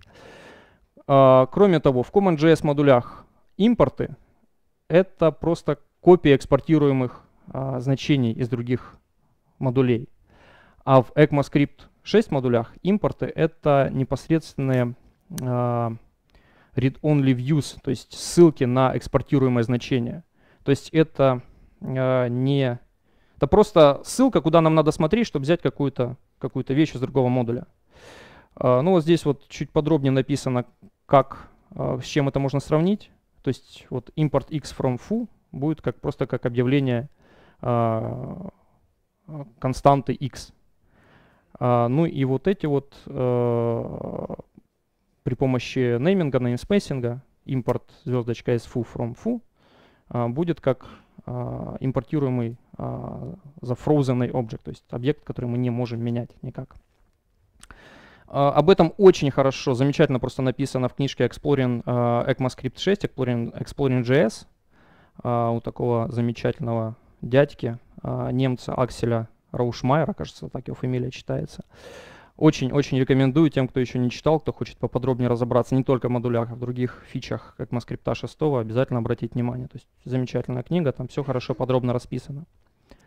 Вот, собственно, ссылочка здесь внизу, но я думаю, вы просто, если в гугле вобьете Exploring JS, Exploring ECMAScript 6, вы сразу попадете туда, куда надо. А, посмотрим на примере кода, что такое тришейкинг. То есть просто Представьте, у нас есть библиотека с утилитами какая-то, а, которая экспортирует две функции. То есть какая-то полезная функция, summary, которая просто возвращает сумму двух чисел, и э, абсолютно бесполезная функция, которая ничего не делает. То есть она, соответственно, и помечена таким образом. А, эти две функции мы импортируем а, из а, файлика utils в нашем основном файле в точке входа. И, соответственно, вызываем только полезную нашу функцию summary, sum1, 2. Соответственно, она, весь вот этот код после тришейкинга, он будет э, преобразован вот в такой вид. Здесь у меня, к сожалению, опечатка, вот здесь должно быть 1 и 2. Не сум, а и b, 1 и 2, то есть вот этот вот вызов. То есть, как вы видите, у нас просто полностью отвалится неиспользуемый метод, неиспользуемый экспорт, и дальше у нас будет абсолютно чистый э, кусок кода, каждая строка которого так или иначе используется, так или иначе участвует в э, работе. Стоит отметить, что трешейкинг это не удаление мертвого кода. Есть такой термин dead code elimination. Uh, он скорее применим к таким штукам, как Uglify.js, Google Closure Compiler, то есть это когда мы уже наш сформированный бандл, мы просто анализируем на предмет вот таких вот неиспользуемых переменных то есть неиспользуемых каких-то а, кусков, которые мы просто можем смело выкинуть, о которых мы точно на 100% сможем сказать, что эта переменная, которую мы объявили, мы ее не используем. Вот это вот dead code elimination. А tree это анализ э, исходников. То есть э, мы вместо того, чтобы умирать мертвый код, мы включаем только живой код. Э, какие тузы сейчас позволяют это сделать? В первую очередь Webpack 2. То есть Webpack 2 это вторая версия популярного веб-пака.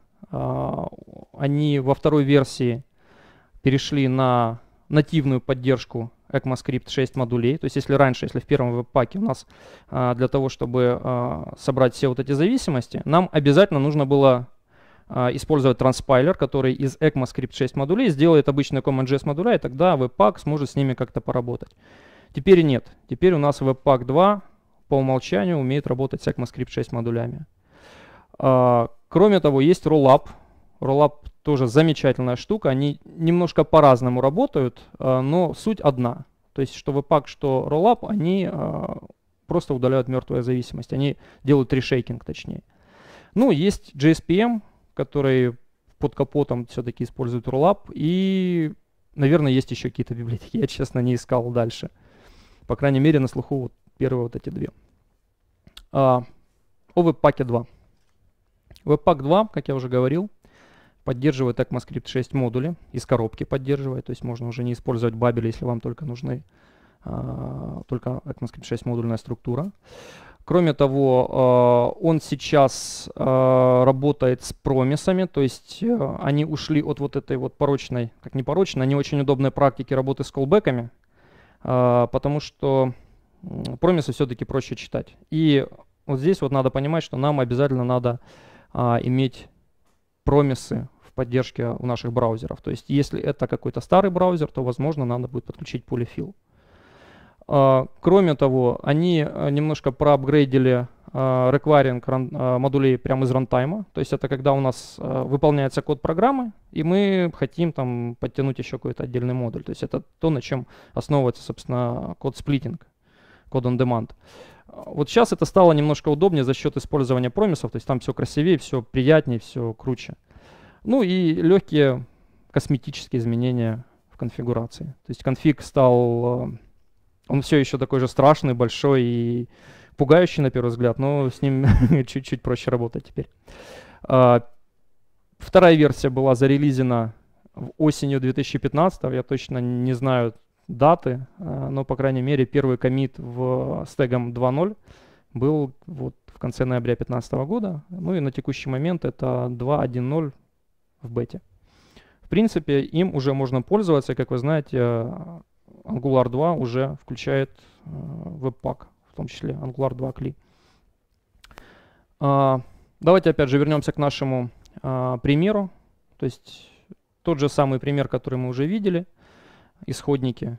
Две функции экспортируются, одна из них полезная, другая бесполезная.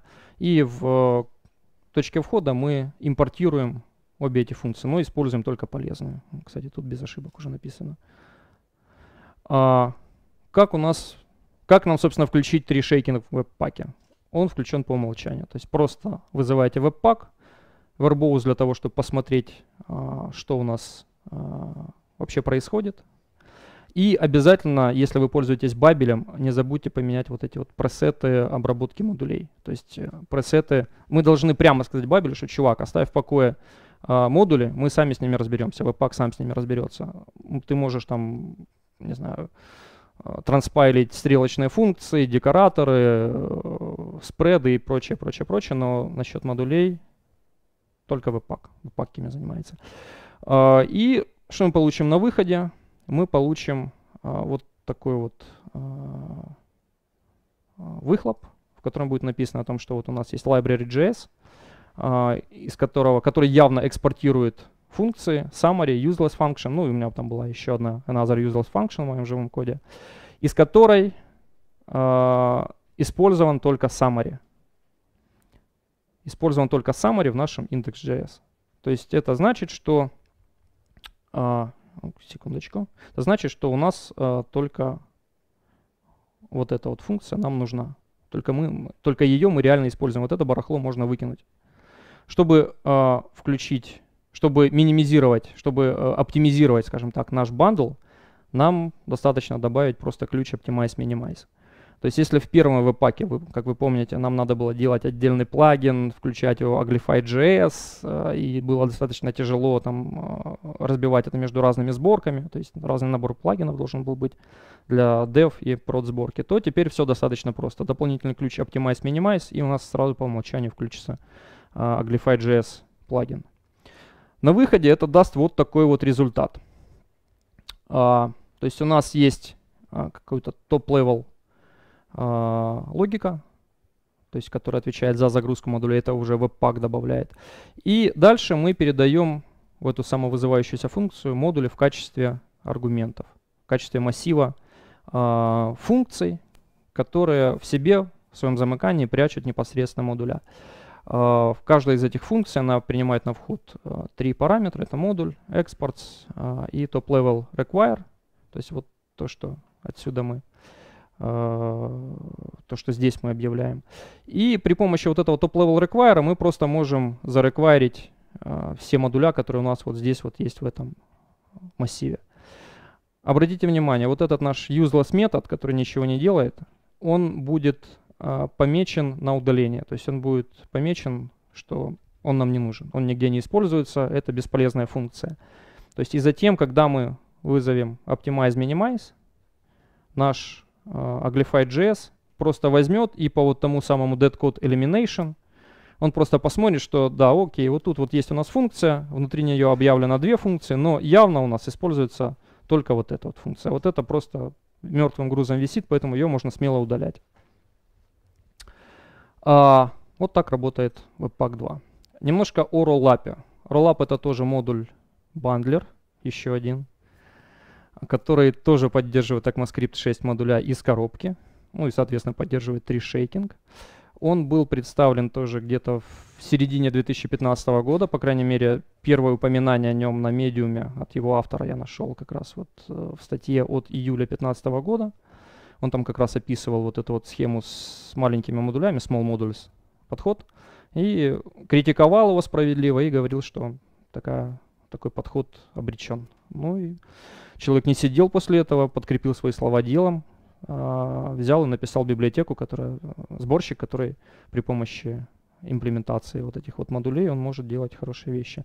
Ну, на текущий момент Rollup а, обладает вот такой вот версией, это 0.36, то есть он все еще достаточно молодой, а, но, тем не менее, он очень получил широкое применение в библиотеках, получил широкое применение в исходниках библиотек то есть, в частности, его используют Vue.js, о котором вы слыхали, наверное. А, в частности, его для э, своей сборки используют D3 четвертой версии. То есть я, собственно, о роллапе впервые услышал, когда смотрел э, на э, репозиторий D3, там, где его автор Майк Боста как раз говорит, вот смотрите, мы теперь э, придумали такую штуку, мы теперь используем Rollup, теперь вам вовсе нет надобности тянуть весь наш большой D3, который занимает тоже там какие-то мегабайты, теперь вы можете просто при помощи Rollup дернуть только то, что вам нужно. И да, это работает. А, как происходит Rollup бандлинг? Ну, тоже достаточно просто. Мы вызываем Rollup с ключом C. А, на выходе из вот того примера, который я вам показывал, у нас получится просто вот очищенный кусок кода, то есть только те вещи, которые нам нужны. То есть если будут какие-то конфликты имен, то Rollup этот сам просто сделает какие-то алиасы, то есть поможет нам зарезолвить эти проблемы с конфликтами имен. Но на выходе мы получим просто чистый JavaScript без всяких лодеров, без всяких э, оверхедов, без всякой структуры, которую добавляет Webpack 2. И на самом деле это очень э, с одной стороны, это очень удобная штука, потому что позволяет делать перформанс быстрее. С другой стороны, не очень удобная, потому что у нас код сплитинг отваливается. Я об этом чуть позже расскажу. Scope hosting. Scope hosting это вот как раз та штука, которую, о которой я только что говорил. Это а, ускорение, скажем так, работы. То есть, как вы видите по вот этому коду, у нас, по сути, весь наш бандл — это одна большая самовызванная функция. А, в данном случае мы а, Rollup попросили а, за export-ить, то есть сделать бандл вот именно в таком виде, обернуть самовызывающуюся функцию. Но это как бы не обязательно, мы можем просто попросить вот очистить наш код. Одна функция, в которой собраны все-все-все наши реально используемые экспорты из всех наших модулей. Webpack же, как вы помните, немножко по-другому действует. То есть он добавляет свой небольшой оверхед. То есть он изолирует каждый модуль в замыкании, экспозит какой-то топ-левельный require для внутренних э, потребностей, а, строит свою call-схему, то есть э, свою схему вызова модулей из вот этого общего набора, который есть. А, ну и помечает, соответственно, неиспользуемые экспорты для удаления, которые потом удалятся Aglify. Rollup действует немножко по-другому. Он статически анализирует э, всю структуру модулей. То есть, как я уже говорил, ECMAScript 6 модулей за счет своей э, природы пом- э, позволяют это сделать. И просто автоматически сразу убирает то, что мы не используем. То есть забирает наш бандл только то, что мы используем. Ну и, соответственно, у нас таким образом получается, что все э, экспорты, они как бы поднимаются в один скоп, в один самый верхний скоп. То есть у нас получается, что э, мы э, выигрываем за счет того, что у нас нет, во-первых, вложенных скопов, то есть мы выигрываем по памяти во время э, вызова этого нашего бандла, э, вызова в работу. А, плюс у нас э, нету потери в скорости для поиска по ассоциативному массиву э, переменной длины. То есть э, Webpack как раз вот за счет своих вот этих вот собственной call-схемы, он, когда вызывает модули, он просто ищет их по ассоциативному массиву. Rollup так не делает. У нас просто на выходе получается чистый JavaScript. То есть, ну и, соответственно, плюсы и минусы сразу становятся понятны. А, Webpack, как первый, так и второй, позволяют а, делать рантайм, вызов модулей, под, подгружение модулей прямо в рантайме, то есть и динамические импорты. То есть Webpack 2 вообще вот использует вот такой классный подход System Import, то есть он вызов System Import, вы затянули какой-то модуль асинхронно, и потом это, он этот э, вызов возвращает промис, и вы потом Zen через цепочку промисов делаете, что хотите. У вас, э, когда подгрузился ваш модуль, все классно, вы можете с ним работать. Или не подгрузился, какая-то ошибка упала, и вы уже можете ее обработать. Раньше этого, кстати, не было. То есть вот те плюсы, о которых я говорил в Webpack 2. Оп, пардон, не туда нажал. А, ну и, соответственно, это позволяет применять всякие продвинутые техники для бандлинга. То есть э, то, о чем я говорил, а, это вот это вот код on demand, нарезка бандлов на кусочки, вызов, э, когда необходимо. А, именно за счет вот этой вот динамической природы, собственно, call-схемы веб-пака. Соответственно, это дает некоторые минусы. То есть более сложная структура, ну, естественно, сравните, то есть какой код проще читать, вот этот или вот этот. Хотя, по сути, у них э, реально функциональность одна и та же. Ну и, естественно, это отражается на перформансе. То есть это дает какую-то э, деградацию перформанса, ухудшение перформанса. Особенно это будет заметно на каких-то суперкрупных бандлах, когда у вас там сотни модулей, между которыми надо э, переключаться. И вот это вот будет э, давать ощу иногда ощутимый э, просаживание, ощутимое просаживание э, производительности. Соответственно, подход рулапа он имеет следующие плюсы. Во-первых, это он сохраняет структуру э, оригинального кода максимально похоже на то, что вы написали. То есть это не э, какие-то непонятные внутренние require, которые непонятно как, откуда вызываются. Это сразу тот код, который вы написали, просто из которого убрано все лишнее. А, ну и, соответственно, перформанс. Чуть лучше перформанс за счет того, что один scope, а, нету никаких поисков, все классно, все супер быстро работает. Но без минусов тоже не обошлось. Мы не можем делать э, вызов под, подгружения модулей в рантайме. То есть мы получили на выходе бандл, все, он статический, мы работаем только с ним. Ну и, соответственно, техники по bundle splitting-у, по code on demand, они их придется теперь делать вручную. То есть вручную придется собирать несколько разных бандлов, их как-то там поддергивать и так далее. То есть вот, вот такие вот минусы. А, ну, собственно, на этой оптимистической ноте я хочу закончить. Всем спасибо за внимание. Вопросы?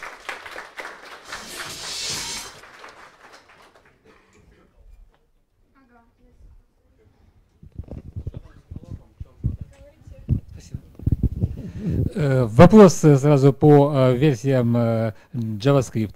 Ну, как бы смотрите, есть JavaScript, который используется в браузерах, uh-huh. есть ECMAScript 6, и вы назвали еще Common.js. Давайте все-таки уточним, что, что есть что. Uh, Спасибо. ECMAS, да, я понял вопрос.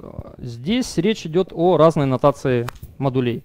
То есть есть CommonJS модуль, это когда вы подключаете какой-нибудь модуль через require, то есть пишете require, там utils, и понеслась. А ECMAScript 6, ECMAScript 6 модули — это новая нотация модулей, которые должны будут быть заимплеменчены как нативные э, скоро. Э, сейчас э, в данный момент они выглядят следующим образом. То есть импорт что-то там, from э, что-то там да. То есть за счет вот этой вот... Э, основная их разница в том, что э, экспорты, которые экспортируют э, модули, они разные по своей сути. То есть если CommonJS модули экспортируют копию объекта, то есть это, это просто копия значений каких-то, то э, ECMAScript 6 модули они экспортируют э, ссылки. То есть они просто указывают, куда надо смотреть, чтобы получить то, что мы хотим импортировать. И это э, делает их э, пригодными вот для трешейкинга. То есть именно в этом как бы их одна из основных разниц. Там помимо э, трешейкинга есть еще куча всяких фишек, куча всяких плюшек, которые можно будет на основе этой статической структуры э, сделать в будущем. То есть это хороший задел для макросов, например, то есть э, для тому подобных вещей, которые будут э, использоваться в рантайме. Но пока что вот пришли только к трешейкингу. То есть пока что хорошая имплементация есть у трешейкинга. А, сейчас в браузере нету никакой нативной поддержки модулей вообще. То есть либо это, ну, скажем так, сейчас в браузере вы можете только подключать отдельные куски а, JavaScript при помощи тега script, который подключается в HTML. А, в будущем ECMAScript 6 модули, когда они станут нативными, они смогут подключаться с, точно так же, только с, с тегом модуль. Скрипт э, с э, тег модуль, кажется так. А, в данный момент нет возможности нативно заимплементить модуля вообще никак. То есть поэтому мы используем бандлеры, поэтому используется Require.js, поэтому используется Webpack, Browserify, jspm, то есть куча всяких штук, которая из исходников, из разрозненных исходников – собирает один большой бандл, который мы подключаем потом. Вот как-то так. Александр, подскажите, пожалуйста, в Angular 2 есть такая вещь, как lazy loading модулей. Соответственно, я не могу, насколько я понял, использовать rollup для этого. Да, да, rollup, скорее всего, не подойдет, а, именно по той причине, о которой я говорил вот буквально на последнем слайде. То есть а, именно, наверное, по этой причине используется Webpack 2, который позволяет очень удобно делать вот такие вот штуки, то есть в рантайме. То есть lazy loading как раз вот то же самое. Uh, Rollup, он не столько бандлер, сколько вот uh, просто очиститель, очиститель кода uh, от ненужных, неиспользуемых экспортов. И все. То есть поэтому, если хочется lazy loading и прочих продвинутых вещей, но вы готовы пожертвовать ради этого более сложной структурой самого бандла, то есть меньшей читабельностью кода и, возможно, просаживанием каким-то по а, производительности, то тогда, да, Webpack 2. Да. Э, опять же, если взять ваш пример, в котором э, в модуле есть и два экспорта, sub и... Э, да, да, да. Угу. Сейчас я даже, даже открою его. Да, вот этот вот. Ага. себя использует э, обращение ко второму модулю. А, какому именно? Ну, окей, тогда у нас вот здесь вот мы э, просто будем э, использовать еще вот этот вот useless метод. То есть он, э, наш summary, у нас появится вот здесь вот просто ссылка, скажем так, на использование useless метода, вот здесь вот где-то будет этот вызов, и тогда useless метод тоже попадет в наш э, бандл результирующий. То есть э, это объявление функции. До тех пор, пока нету его явного вызова где-то, до, до того момента мы считаем, что эта функция нам не нужна. Точнее, очиститель вот этот вот, Uglifier, считает, что она нам не нужна, и считает, что ее можно смело выкинуть. Ну, в принципе, он прав в этом.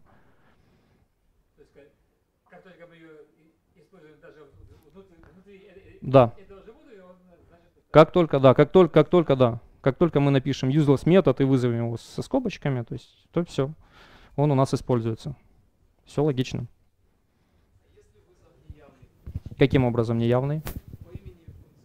А, по имени функции тоже будет то же самое. То есть, э, я так понимаю, внутри, под капотом, где-то глубоко эти резолвы не отслеживаются.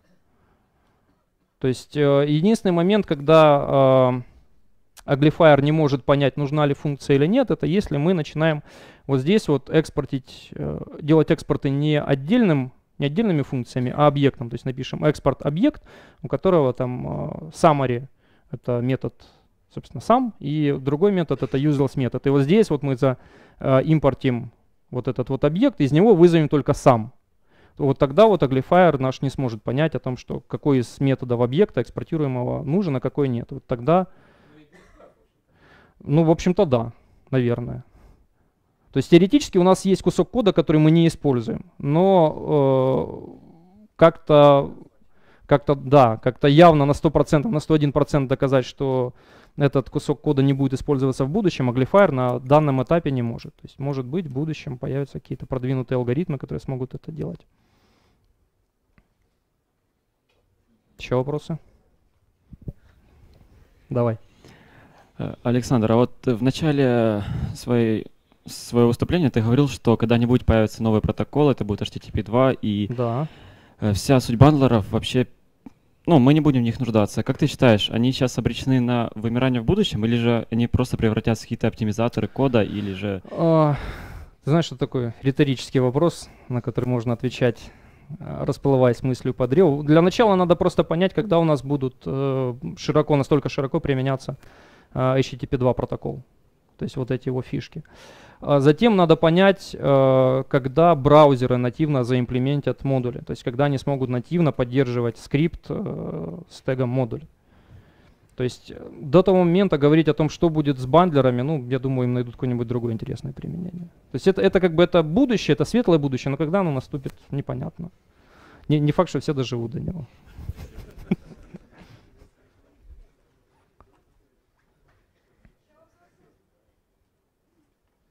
Так, ну вопросов больше нет, я так понимаю, да? Все, спасибо большое за внимание.